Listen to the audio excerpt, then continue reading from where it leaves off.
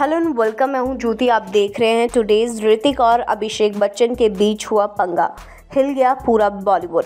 आपको बता दें कि बॉलीवुड को अपनी एक्टिंग से लोहा मनवाने वाले ऋतिक रोशन ने कई सारी सुपरहिट फ़िल्में दी।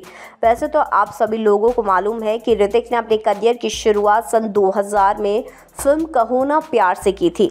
कोई मिल गया। Krrish, Dhoom two, War, Super thirty काबल्स उनकी ब्लॉकबस्टर फ़िल्म में रही। ऋतिक रोशन का टकराव, मशहूर एक्टर अभिषेक बच्चन से हुआ था। जैसे कि आपको बता दें कि फ़िल्म रिफ्यूज़ी फ़िल्म से शुरुआत करने वाले अभिषेक बच्चन का पहली फ़िल्म सा, फ्लॉप साबित हो गई थी। लेकिन 2004 में फ़िल्म धूम और युवा के प्रदर्शन ने बॉलीवुड में अभिषेक को एक अलग जगह दी। लेकिन आज हम आपको बता दें कि कैसे ऋतिक और अभिषेक के बीच टकराव हुआ था।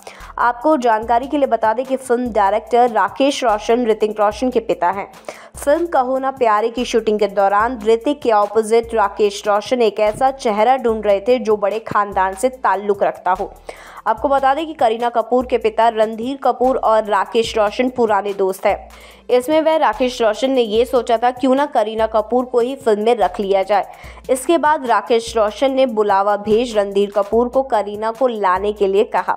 और शूटिंग शुरू हुई, होने वाली थी। इसी बीच करीना और उसकी बहन करिश्मा और उनकी माँ साथ में फ़िल्म के सेट पर पहुँच गए। राकेश रोशन ने फ़िल्म की स्क्रिप्ट के शुरुआत में ही गाने की शूटिंग शुरू कर दी, जिसमें ऋतिक रोशन का डांस देख करीना उनके सामने फीकी लगने लगी। इस बात का एहसास करीना की मॉम और करीना दोनों को हो गया। ऐसे में बबीता ने राकेश रोशन से ये कहा कि वह पहले गाना नहीं, कोई डायलॉग सीन शूट कर ले। करीना कंफर्टेबल नहीं हो पा रही है। लेकिन राकेश ने अपनी परेशानी बताई कि उन्होंने इतना महँगा सेट लगाया है सिर्फ़ गाने के लिए। और अब वो इसे हटाएँगे तो उन्हें काफ़ी नुकसान भी होगा और समय भी बर्बाद होगा। उस दिन करीना जब वापस घर गई तो दोबारा सेट पर नहीं लौटी। अब इधर अमिताभ बच्चन भी अपने बेटे अभिषेक बच्चन को लॉन्च करने की तैयारी कर रहे थे। अभिषेक जेपी दत्ता की फ़िल्म रिफ्यूज़ी कर रहे थे। ऐसे में उन्हें पता चला कि करीना कहो ना प्यार में कर जो फ़िल्म है, वो नहीं कर रही हैं।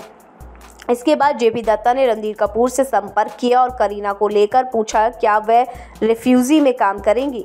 जेपी दत्ता ने करीना को इस फ़िल्म में काम करने के लिए फ़ीस भी ज़्यादा देने का वादा किया। ऐसे में अब करीना का के हाथ में फैसला था कि उसे कहो ना प्यारे कर रही हैं या फिर रिफ्यूज़ी। एक फ़िल्म में ऋतिक रोशन है, दूसरी में अभिषेक बच्चन। ऐसे में करीना ने माँ बबीता को कहने पर फैसला किया और वह अभिषेक के साथ फ़िल्म रिफ्यूज़ी के लिए तैयार हो गई। इस तरह अभिषेक के सामने अभिषेक ऋतिक के सामने अभिषेक इस मामले में जीत गए।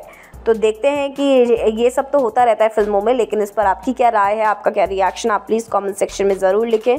थैंक यू सो मच की watching today's for more news